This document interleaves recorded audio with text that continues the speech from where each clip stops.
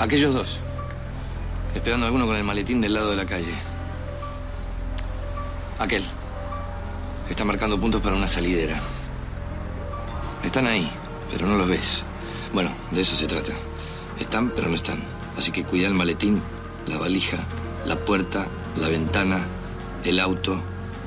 Cuida los ahorros. Cuida el culo. Porque están ahí y van a estar siempre. ¿eh? Chorros.